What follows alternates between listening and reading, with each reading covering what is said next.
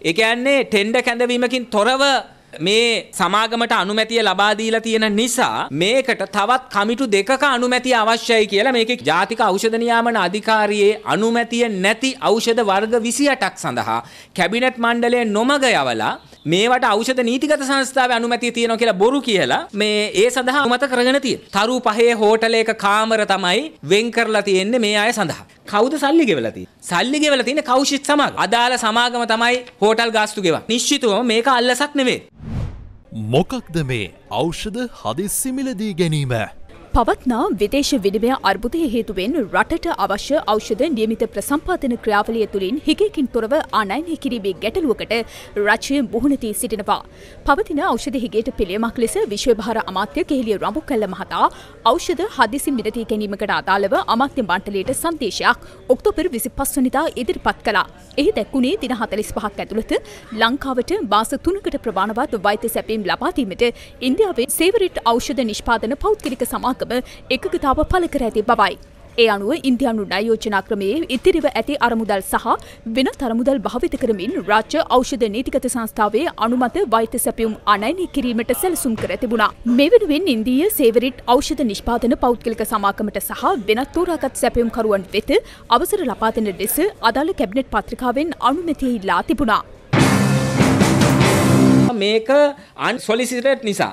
ඒ කියන්නේ ටෙන්ඩර් කැඳවීමකින් තොරව මේ සමාගමට අනුමැතිය ලබා දීලා තියෙන නිසා මේකට තවත් කමිටු දෙකක අනුමැතිය අවශ්‍යයි කියලා මේකේ කියන. මුදල් අමාත්‍යාංශ විසින් එවලා තියෙන නිරීක්ෂණ පත්‍රිකාවට අස්සන් තබලා තියෙන්නේ මුදල් අමාත්‍යවරයා විදිහට ජනාධිපති රනිල් වික්‍රමසිංහමයි.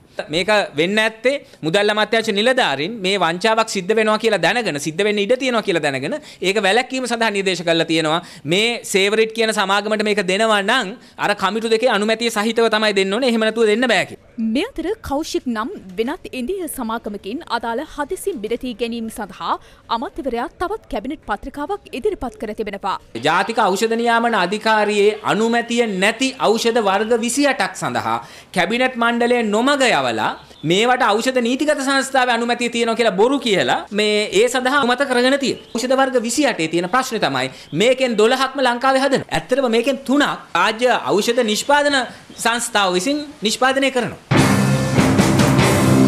මේ නැගෙන බරපතල චෝදනා ගැන ඇමතිවරයා දැන් කියන්නේ මොකක්ද. පසුගිය විසි දෙවනදා සෞඛ්‍ය අමාත්‍ය කෙහෙලිය රඹුකෙල්ල මහතා සිය ට්විටර් ගිණුවේ සටහනක් තබමින් කියා සිටියේ ජාතික ඖෂධ නියාමන අධිකාරියේ ප්‍රධාන විධායක නිලධාරී සමග ඉන්දියාවේ රැඳී සිටින බවයි. සිය ඉන්දීය සංචාරය සඳහා කිසිදු රජය මුදලක් වැය කර නොමැති බවත් පෞද්ගලික මුදල් යොදවමින් ඊට එක්ව සිටින බවත් අමාත්‍යවරයා සිය ට්විටර් සටහනින් දක්වා තිබුණා. මේකට අනුව ඉන්දියාවේ තියෙන චෙන්නයිවල තියෙන තරු පහේ හෝටලයක කාමර තමයි වෙන් කරලා තියෙන්නේ මේ අය සඳහා. කාමරයකට එක දවසකට ගෙවනවා ඩොලර් 400ක්. කවුද සල්ලි ගෙවලා තියෙන්නේ? සල්ලි ගෙවලා තියෙන්නේ කෞෂිත් සමාගම. අදාළ සමාගම තමයි හෝටල් ගාස්තු ගෙවන්නේ. නිශ්චිතවම මේක අල්ලසක් නෙවෙයි.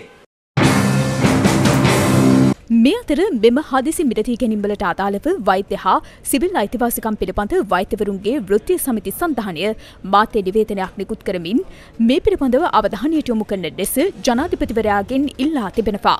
අදාළ මාධ්‍ය නිවේදනයේ දැක්වෙන්නේ දේශීය වශයෙන් නිෂ්පාදිත ඖෂධ වෙළඳපළට නිකුත් කිරීමට පෙර නිසි තත්ත්වයේ පරීක්ෂණයට ලක් නොකිරීම සහ ඖෂධ නියාමන අධිකාරියේ අනුමැතිය නොලබා ඉන්දියානු ඖෂධ ලබා ගැනීමට සෞඛ්‍ය බලධාරීන් දරන උත්සාහයක් සම්බන්ධයෙන් පරීක්ෂණයක් පවත්වන ලෙසයි. හෙළිදර වූ ඇති කරුණු අනුව සෞඛ්‍ය අමාත්‍යවරයා අමාත්‍යංශය සහ ජනාධිපතිවරයා නොමග යවා ඇති බවද එහි සඳහන්. මෙම තත්ත්වය පාලනය කිරීමට ජනාධිපතිවරයා වහම් මැදිහත් විය යුතු බවත් හැකි ඉක්මනින් සෞඛ්‍ය අමාත්‍යවරයා සහ සෞඛ්‍ය ලේකම්වරයා ඉවත් කොට නව පරිපාලනයක් බිහි කරන ලෙසද ඔවුන් ඉල්ලා සිටිනවා.